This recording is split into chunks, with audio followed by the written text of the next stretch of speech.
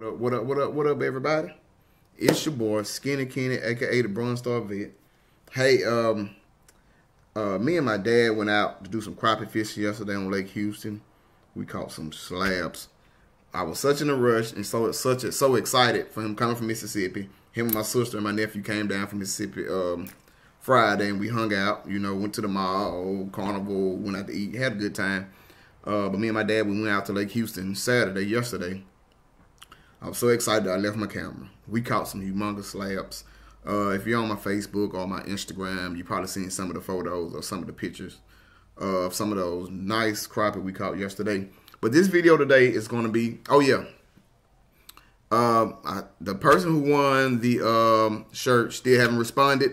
So what I'm going to do is I want everybody or whoever wants to have a chance to win, pick a number between 1 and 25.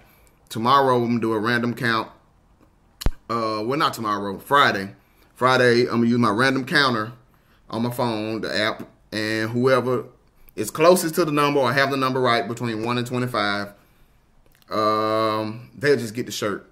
Uh, whoever picks the number first, uh, that's who gets it. If y'all pick the same number, whoever picked it first, they'll be the winner of the shirt. So we can go ahead and get that out of the way, and we'll start with our 20 hand tie giveaway. but on this video, I want to show y'all how I do my hand ties. Everybody do hand ties different. Everybody tie them different. This is the easiest way for me and a successful way for me. Uh, my hand ties, hey, they work. I've caught several fish on them. Some of my friends got some hand ties. They caught several fish. Sent my dad some. He used them back in Mississippi. They work. So I'm sure they work. Uh, this is the way I hand tie mine. Most of all my jigs, what I do, I use bucktail. I have every color. Uh, this morning I've been tying since about 7:30 8 o'clock this morning. It is 5 o'clock now. So I've been tying all day trying to fill some orders. So I've been hand tying some shark tails and some black tails. I got two type of jigs I want to show y'all that I'm making. I'm actually I got like three or four different types that I make. But my main type I make is with the buck tails. I have every color buck tail that Bass Pro has. I have every color buck tail. So green, I mean I have shark, black, orange, brown, pink, purple, blue, red, white, yellow, pink. Do I got purple? I don't think I got purple. Yep, and I have purple. So that's every color that um Bass Pro has to offer. My chenille, y'all know I'm a budget guy. Like I told you, I'm a budget crappie fisherman because I love to do it and I try to find the best price for it. My chenille, I order all my chenille off of eBay. Uh, it comes from Nimrod's Tackle. Nimrod's Tackle. I got it off eBay from Nimrod's Tackle. I think they're like one ninety. Some of them are one ninety nine a pack. Some are two ninety nine a pack. Great deal. A great Nimrod Tackle is a great place to order your chenille from or your your, your jig time stuff from. They great price. Shipped it quick. Got it quick. No problem. Perfect. Perfect. Perfect. So um, Nimrod's Tackle. I don't know if y'all can see it, but this is how it's spelled. Nimrod's Tackle. That's where I got it from. Uh, so today I'm just want to show you how I do my hand ties. We're gonna do uh, let's do a chartreuse. These are my jig heads too. Jig. Um, when I started doing my hand ties, I realized hand tying is actually quicker than powder paint. Powder paint takes a long time because I like to do my eyes and all of that. So so this is, we're gonna do a short head, chartreuse head.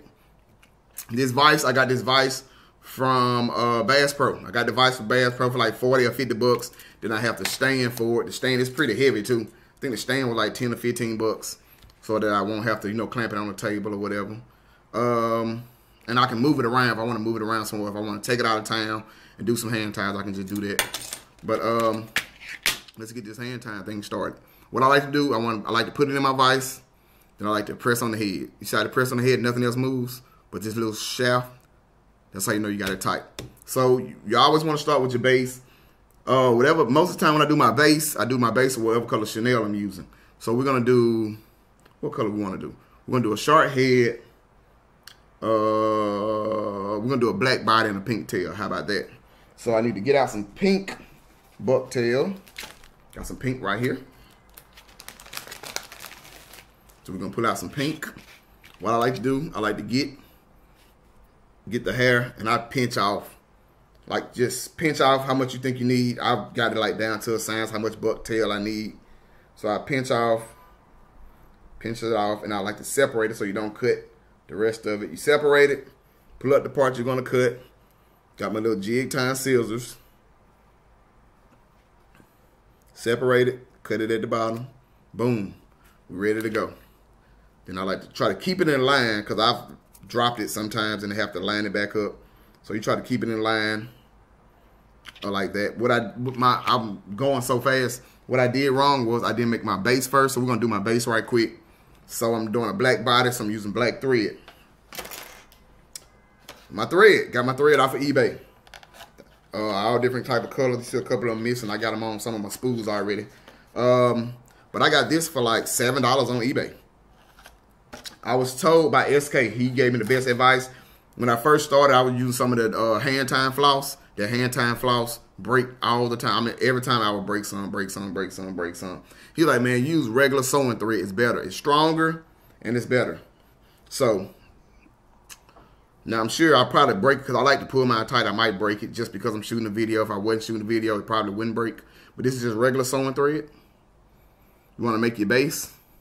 So you see how I did? I pulled some out and I just tie mine up. This is kind of, this spool thing that's holding, I don't know what's the name of that's holding the thread. It's kind of tight. So I don't like to slide it down. I just like to release it like that. So I like to just tie it down first, then I come back and I fill it in. Fill in every little gap.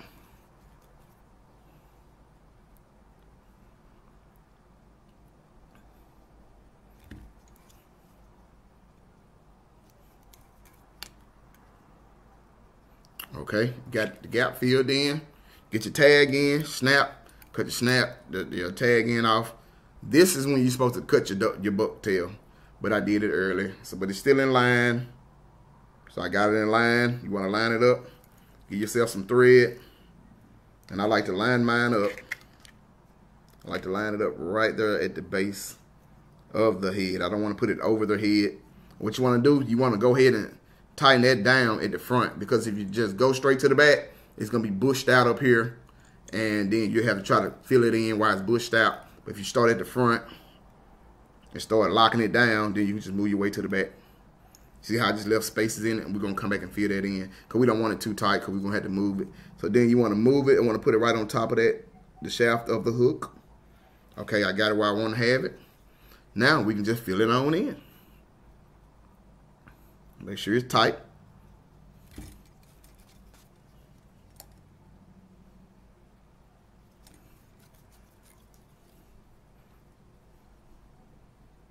And like I said, this is how I do mine. Everybody do theirs different. Everybody do it different. I ain't gonna say it's a right or a wrong way to do it. This is the way I I do it, and it works great for me. It's pretty successful for me. So this is the way I do it. Okay, we got it good to go. Then I like to look at my tail. And you can judge how long you want your tail. I like my tail like medium. So what I do, I don't like to hold it straight and cut it because I'll be flat in the line. I like mine to kind of be, you know, different sizes. So I freehand cut it.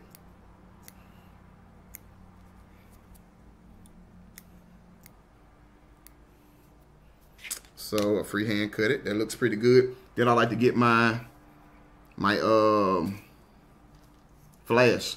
Now this is some flash I bought off of eBay. I got like seven or eight different colors for like three dollars, which chenille costs a little bit like four or five bucks at, at uh Bass Pro.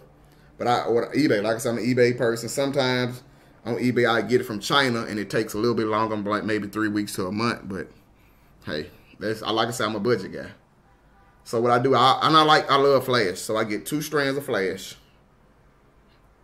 and I find a halfway point. You find a halfway point, and I stop it right there at the halfway point, and I cut it. This is the most important part to me when it comes to flash.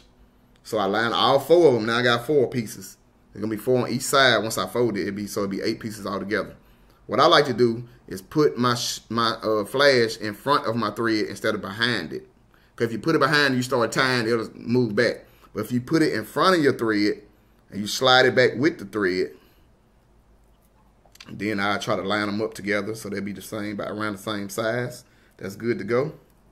So we do it like that. Make a couple turns on it. Then we'll lay it down so we can try to get the flash on both sides. Be kind of even.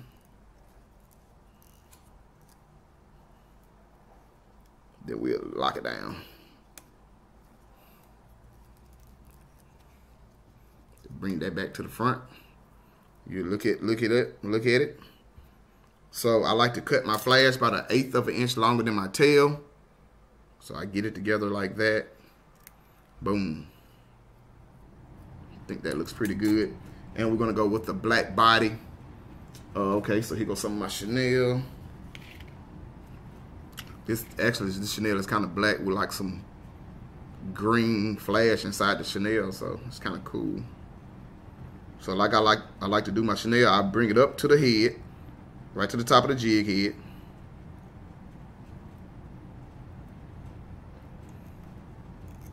See, now I want to act crazy. See, it didn't even go to the top just because I'm shooting this video. But that's fine too. We'll start it back in the middle. We'll lock it down. Like I said, I like bucktails. To me, it's easy to tie to me. Some people, you know, I see a lot of people like hackle. Hackle is a beautiful, it makes a beautiful jig, a beautiful jig. Um, the, the hackle, the feathers. Uh, you know, everybody got different types. Some people do rabbit fur, different types.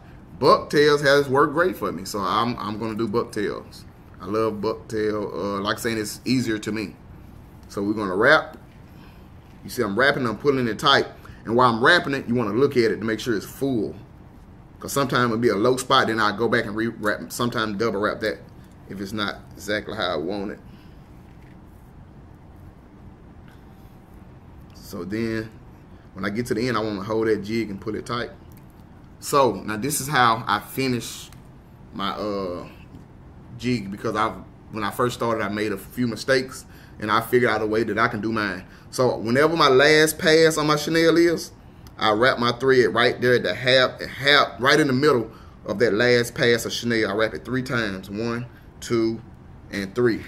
Then what I do, I pull them both tight together. Cause what I used to do is bring it, bring my thread too far forward, and then once I wrap it, it'll pop out. The chenille will pop out. Then you'll have the chenille sticking up. But when I figured out if you wrap that thread you wrap that thread right there in the middle of your last pass of chenille, you'll be good to go. So we got that three whip finish. Took me a while to uh, get it down pat, but it's simple now that I know how to do it. This is how I do mine. I'm left-handed, so I, sometimes I do stuff backwards. But this is how I do mine. I pull up. You see, this is your whip finisher. You see it. So this little hook part right here on the front. I pull up on the thread. Then you got the back part. They got the little hump. I put it back like that. So now you're gonna make a triangle. So what I do, I come around one time and then I spin it and it locks in. Now, with my whip finish, I tuck it behind, I tuck it behind my um chenille. So it'll be kind of underneath my chenille. It's like squeezed underneath my chenille and my jig head so it won't be seen. I do four to five times spin, push down on it so the back part is released. Then I pull back on the thread. And the only thing is left is the little hook part on the front. Pull back, pull out, tug, make sure it's tight. Get the thread, snap. I like to turn it upside down. Uh, this is a flyhead cement I get from Bass Pro. It's kind of expensive. To me, it's expensive. I don't know how much the glue's supposed to cost, but I think it's like 10 or 12 bucks. But it works easier. I have this also Hard as Hull head cement. I don't like it though because it has like a fingernail polish brush on it and it's kind of messy to me. So I don't like to use that. I like this one because you have the little small little point and you're good to go with that. So put that right on the knot. You're good to go. Bam. And what y'all think about that jig? You think a crappie will hit it? Hope so. I think a crappie will hit it.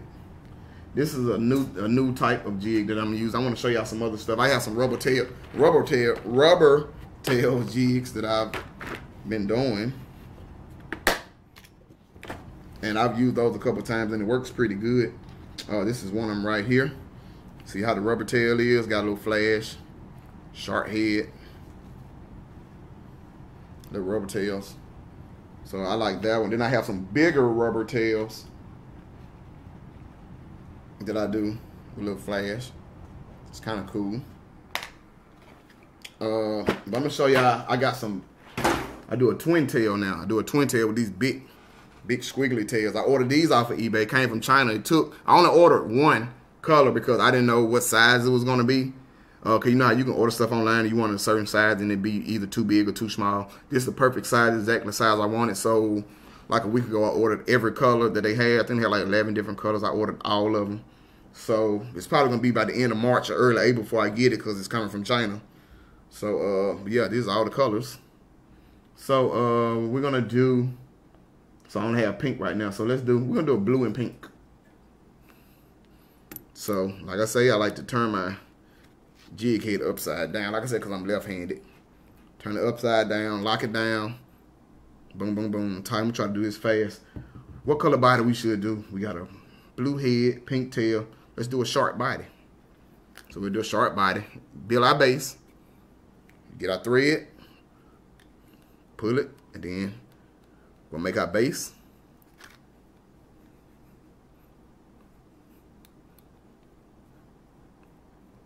And you want to make, you want I like to stop my uh, base right there at the edge, where the, where the edge of the shaft where it starts slants down, because it lines up right with the tip of the hook. And that's why I like to stop stop my uh, base at. We're going to come back in and fill it in now.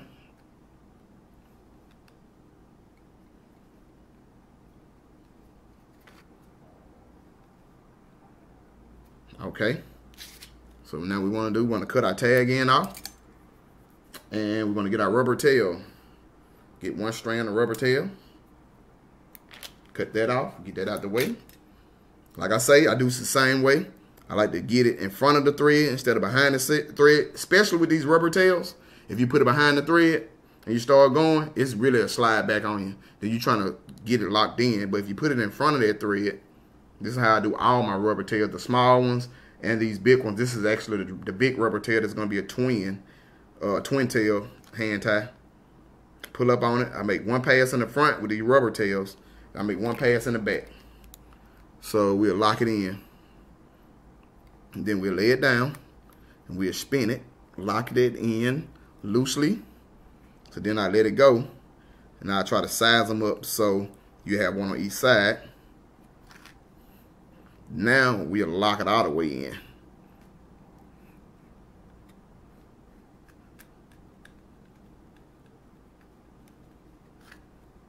All right. We lock that in. We got the pink tails.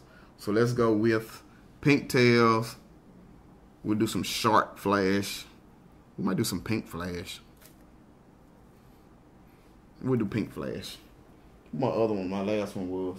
Oh, my last one was, was my last one pink flash? I can't even remember which last. No, the last one was green flash. So we'll do some pink flash. Get two strands.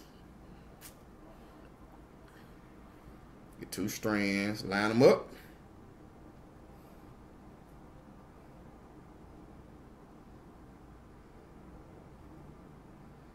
Line them up. Cut them in half. Make sure they're still lined up. Put it in front of the thread. Now we'll try to even even them up together. We'll lock it down.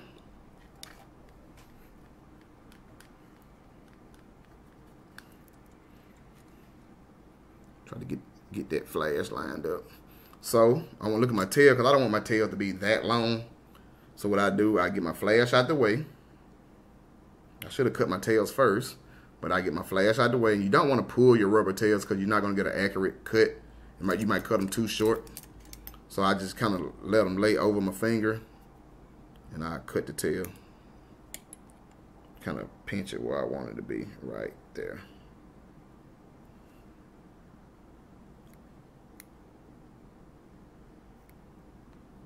I almost cut my finger off. So that's as long as I want my tails. Then I later I lay my tail back across my finger with my flash. And I, like I said, I like my flash to be about an eighth of an inch longer than my tails. So we good to go with that. And what color I said we are gonna do chenille. I mean, we're gonna do chartreuse chenille. Put it up to the top of the head, not over the head, not on the head, but right behind it. We're gonna just make one pass, the first pass, just to put it in there. Then we're gonna lock it down. Then we go. We're gonna wrap it. While we wrapping it, we looking to make sure it all stays the same size. And if it don't, then I'll double wrap it. Pull it tight, double wrap it to fill it in.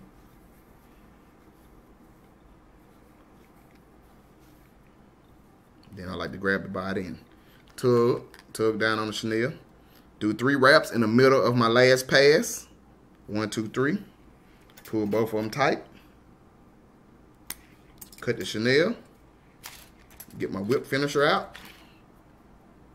Hook, hook that up. Then wrap that behind the, the loop. And we're going to go one time around. Then they're going to make a triangle. Like I said, all of this is going behind behind the uh, chenille. So it's getting wedged in behind the chenille and the jig head so it won't be seen. Four or five times around. Maybe six. I don't know how many times I did it. Cut it. Boom. Flip it upside down. Glue on the knot. Put that back in. Look at it. Sometimes it be a little fuzzy.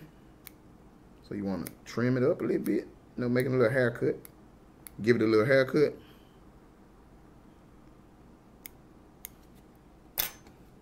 Now, we are done do y'all think a crappie will like this? They're going in there. I mean, I could have made the tails longer, but I don't really need them that long. You think a crappie will like that? I think a crappie will go crazy over that. But I just wanted to show y'all how I make my hand ties. Uh, I had a couple people ask me how I make my hand ties. That is how I make my hand ties. I'm sorry this video took 2 minutes and 22 seconds. But I wanted to go kind of in depth. I wanted y'all to make sure y'all seen every step I did. not trying to hide anything. But um, I really thank y'all for watching. I really hate that I left my camera yesterday because I wanted to uh, show that video of me and my dad uh, catching those big slab crappie. He's not a vertical fisherman. He loves to uh, fish with the with a bobber, uh, jig and bobber, and uh, he vertical fish. He felt that first thump he felt, he was just like, oh my god, and he got addicted to that thump. That, that thump is really addictive. So we had a great time on Lake Houston. Caught some nice slabs. Caught about 16 yesterday. A couple of them was I think we had like three or four that were like 1.9 something. So, I mean, we had some nice ones yesterday. Uh, you can tell they really getting ready to spun. My dad, he did something that he taught me when we was little. You was getting a little boat with a paddle. We used to uh, fish for brim. Back at home, we call them brim, bluegills and stuff like that. We uh, fish for them. And when they bed them, he was like, oh, you can smell them. I can smell them over there. So like he was like, go over there. I can smell them. I can smell them. We went over there and that's we sat like the whole day and we caught all of them. It was crazy how he said he can smell them when they spun. You actually can smell them like where they bed up at. It's crazy. Uh, but we had a great time yesterday. Uh, hopefully uh, I get a new crappie fishing video out soon. But make sure y'all pick a number between 1 and 25. And whoever get the closest to the number, who the first one to pick it, they're to win the shirt. Then after that, we're to get ready to do our 20 tie hand giveaway. 20 hand tie giveaway. Um, I'm not making this video like to make any sales or anything. This is what I like to do. I love to do anything that has to do with crappie fishing. If y'all do want to purchase some, y'all can purchase some crappie jigs, hand tie jigs that I do, or let me know whatever kind of color you want, or whatever like that, and we can we can we can do some. Uh, send me an email, or you can check out my Instagram, or hit me up on Facebook or whatever, and um, hook y'all up with some of these hand ties. I mean, if you don't, that's fine. Like I said, I'm not on here trying to make a sale. I actually work for a living, so this is just something I like to do in my spare times as a hobby. I like to hand tie. Like, it's so addictive to hand tie. But um, I really appreciate all my subscribers, man. I, I really appreciate y'all just for, you know, just for taking the time out of y'all life to look at my video. And I really do appreciate it. I'm very humbled by it. Like, I really am. Like, I really appreciate it. Uh, I can't stress it enough. Like, if I had the time and I had the the, the uh, manpower had some more people making hand ties with me. I promise you, I would send all y'all hand ties, but I just I don't have the time. Uh, and I've been working out of town for the last three weeks, only coming home on the weekend. I got to go back out of town tomorrow for two weeks. So I don't even think I'll be back at home next weekend because I got to work over the weekend, next weekend out of town. So I won't even be at home, won't be able to go to fishing or nothing for the next two weeks. So I'm really gonna have the itch. I might have to take when I get back. I might have to take a couple days off during the week, middle of the week, and do me some crappie fishing because I'm sure I'm gonna have the itch pretty bad, the crappie fishing itch. But I really appreciate y'all watching my videos, man. Like I said, if y'all ever see me on the lake anywhere, hey man, uh, holler at me. I might throw y'all a couple hand ties, man. Like man, try this color, man. They they hitting it pretty good, you know. Anything. I'm not. I'm a very approachable person. Like I'm a people's person anyway. Like people like, why you just go talk to anybody? Like I'm just a people person. I love everybody, man. No matter what, you know, that's just who I am. That's how I was raised, born and raised like that. Uh, so appreciate my parents for raising me like that. But yeah, man, I appreciate all my subscribers, man. Um, like I said, hopefully we get a video out soon. I get a video out soon. Uh, when I get back on the lake, um, I guess in two weeks, hopefully. But I appreciate, like I said, I can't say it. I can't say this enough. I really appreciate my subscribers. I appreciate y'all. Truly, I really do. Um, I got to get back to doing some hand ties. Like I said, I've been going since about 7, 7.30 this morning. I had to stop and shoot this video because I wanted to show y'all how I did my hand ties. And I want to also try to get somebody to win this crappie shirt so we can go on to the next giveaway, which is the 20 hand ties. So, um, man, y'all have a blessed Sunday, man. A blessed Sunday. Have a blessed week, man. I hope y'all have a blessed, very great, blessed week. And uh, until next time, it's your boy, Skinny Kennie, a.k.a. the Bronze Star Vet. I'm out.